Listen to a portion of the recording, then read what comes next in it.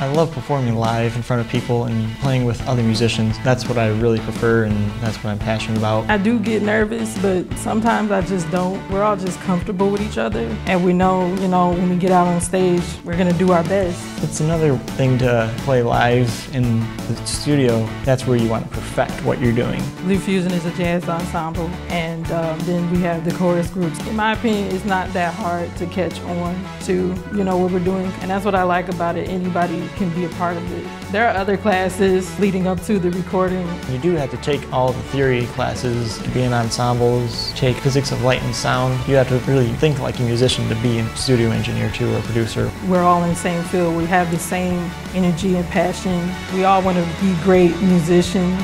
Forget about everything else going on in the world and just share your passions and let it be.